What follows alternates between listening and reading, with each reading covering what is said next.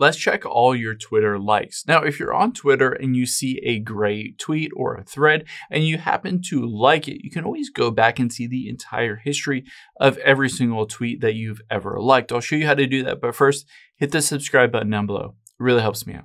Thanks, guys. Now, let's head into the X app here or Twitter app.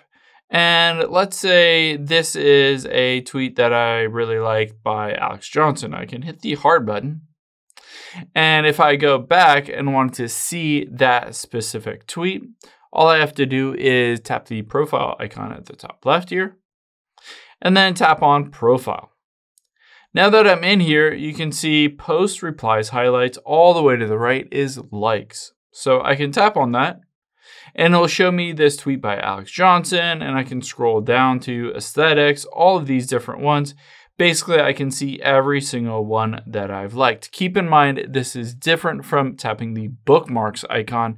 If you wanted to get to your bookmarks, you can tap the profile and right under premium there is bookmarks. So keep in mind a heart or like is different from that little bookmark icon, which puts it essentially just in another list.